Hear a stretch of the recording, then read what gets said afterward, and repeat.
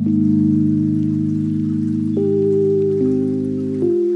नाम राजकुमार है, Bokaro steel city का रहने वाला हूँ।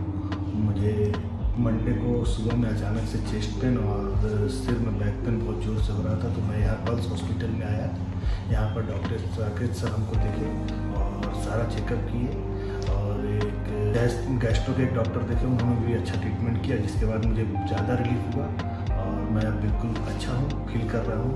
मेरा चेस्ट पेन और सर का बैक पेन दोनों ख़त्म हो गए यहाँ का खान पान नर्स सभी अच्छे हैं और सारा अच्छा से ट्रीटमेंट हुआ, इलाज हुआ, पूरा ख्याल रखा गया।